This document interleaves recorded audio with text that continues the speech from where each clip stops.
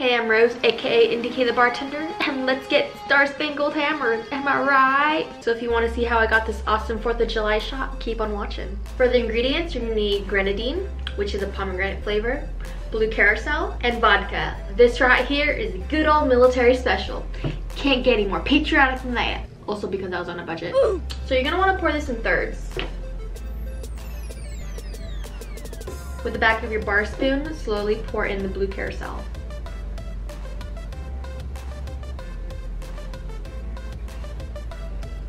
And lastly, your vodka.